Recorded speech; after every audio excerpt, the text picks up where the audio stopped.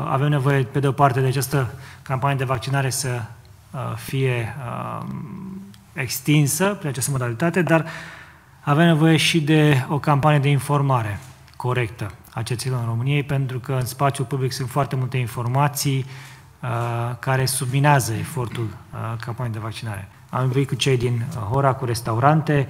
v-am spus, mă interesează să avem tot personalul vaccinat ca să putem să începem să eliminăm din restricții. Cea mai importantă, cred că este, sau ceea ce doresc eu,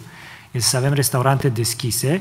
uh, poate la o anumită capacitate, indiferent de rata de incidență. Dar acest lucru se poate face numai dacă avem o campanie de vaccinare de succes atât în uh, localități cât și în sectorul respectiv. Vaccinarea este singura soluție de a ieși din această uh, pandemie.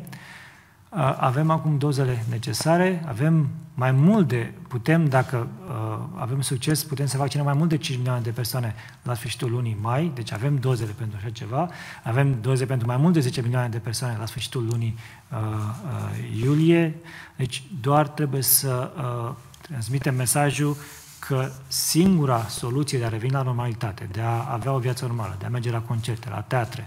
la restaurante, uh, să călătorim, să avem o viață normală este să ne vaccinăm.